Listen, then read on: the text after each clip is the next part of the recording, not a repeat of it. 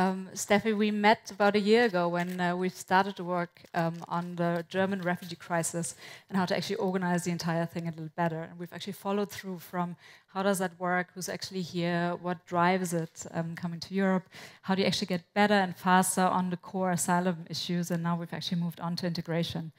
And what we've heard um, this morning, also in some of the heated debates in Britain um, around Brexit, here in Brussels more than ever, it drives opinions, it drives emotions, as we've seen, it drives elections, as we've also seen in Germany yesterday. We've seen it on a Brexit vote, and we're going to see it in a couple of more pretty important elections um, across the EU actually coming up. So now more than ever, um, do we think it's actually important to highlight what the opportunity behind this is. Nobody wants people having to flee their country. And nobody wants inequality. But that's a fact um, in some of the geographies people live in and come from. And therefore, um, we looked at it from an analytics angle, as we do at McKinsey, and um, we started working on a report on global migration and really wanting to understand is this a fad? Is this really a flash in the pan? Is this catastrophic like we've never seen it? Are these actually patterns? Are these different patterns that are emerging in global migration? And is Europe a special case in that? Is that what we're seeing in Europe, what we've seen for the past year? Is that special? Is it just special to us because we see it so close up and we've never seen it like that? Um, and to come with my conclusion up front, um, Europe is a very special case um, in global migration. We've seen nothing like this since the post World War II era. Um, it's a special case, and we think it's a new normal. It's actually here to stay. The fact that right now we have less people arriving uh, is driven by political conditions, it's driven by um, certain will, but the facts that are driving the migration logic, and in particular migration now from developing to developed countries, is actually a new pattern we're seeing. There's never been, since post World War II, where there's data on it, such a volume of people migrating from developing to developed countries. Because typically people flee, and they flee from their home country, and they flee either internally displaced or they flee in neighboring countries. And this really is why Europe is a special case. And I would just like to leave you with two messages on why that is in Europe, and then what is the opportunity and also the moral imperative we think at stake to actually get this right. So just real quick, um, as you certainly all know, but I'm talking about this internationally too, so there's a couple of facts up front. So we had about 10% of the forced migrants last year um, coming into Europe, about two and a half uh, million that was. Um, those two and a half millions, they broke down in like the three top countries, which were Syrians, Afghanis, and Iraqis. And what you note is these are all countries that are relatively far away um, so one of the first uh, insights of this, like we were wondering, why do people actually starting to make that journey now? So it's a far journey.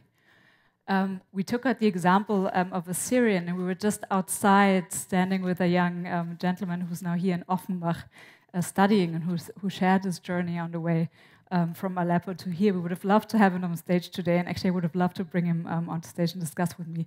He needed to leave, unfortunately. But we looked at this, and when you just look at the numbers, a typical refugee journey is on average 100 kilometers in perimeter if you get displaced from your area.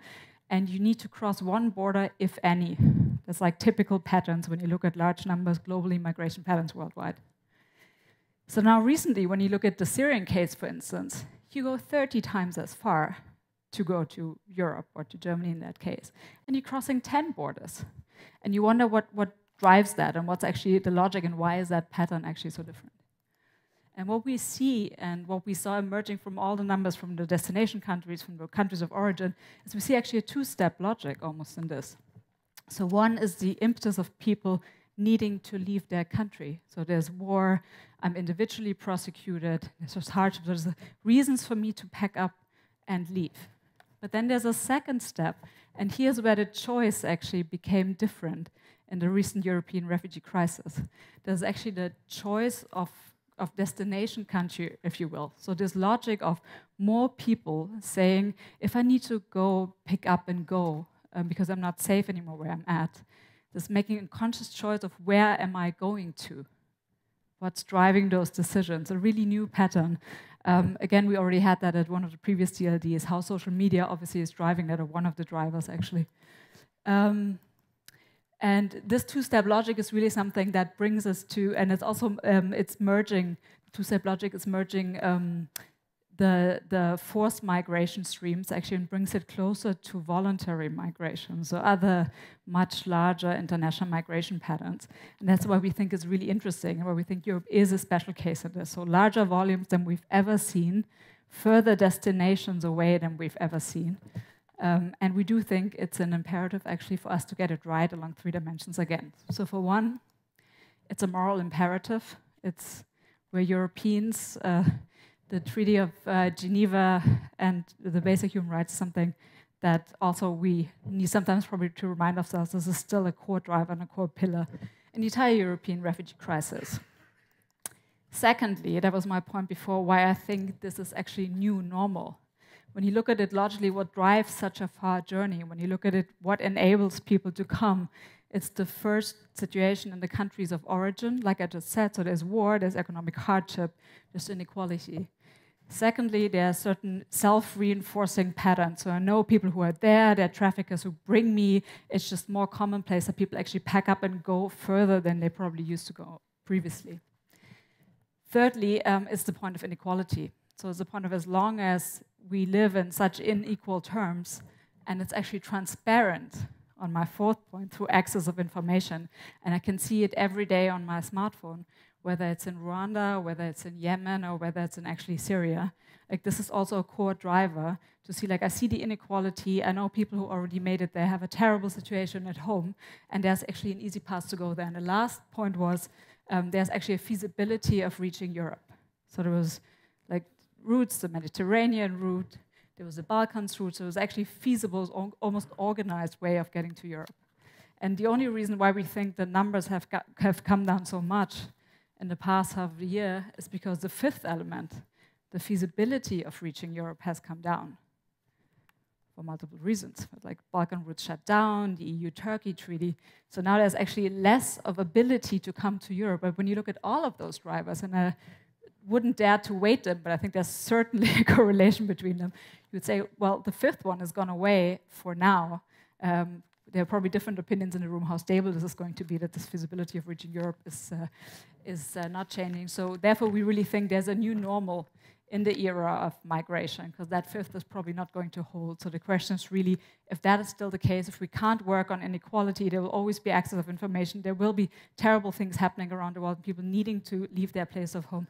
There will be a stronger um, pull towards um, towards Europe in the case of global migration, um, and therefore we think we actually need to properly handle it because it's, it's probably here to stay, and we also think it has an upside. This preliminary, we're publishing the report um, at the UN Refugee Summit in two weeks. Um, we think it has an upside just for the EU between 60 and 70 billion of the refugee cohort that just came in last year. So just that 1.1 million that's likely going to get the right to stay out of the two and a half uh, that came in last year. we think 10 years out, uh, entirely acknowledging that now there's cost associated to this for proper integration. I'll speak to that in a minute. We think there's actually a strong upside case in Europe um, to get that migration element actually right. So why do we think that? It's a mix of factors. One, it's the age structure um, of the cohort coming in. So we are an aging, we're an aging continent. These are people who are very young who actually come in, uh, could be part of our workforce. B, right now they're relatively low skilled, but they're also very young. We have some of the best school and university systems in the world across the continent. So if we do phase them into our educational systems right now, we do think, as a third point, they have likely at least even, if not better, chances of outcomes of previous migrant populations.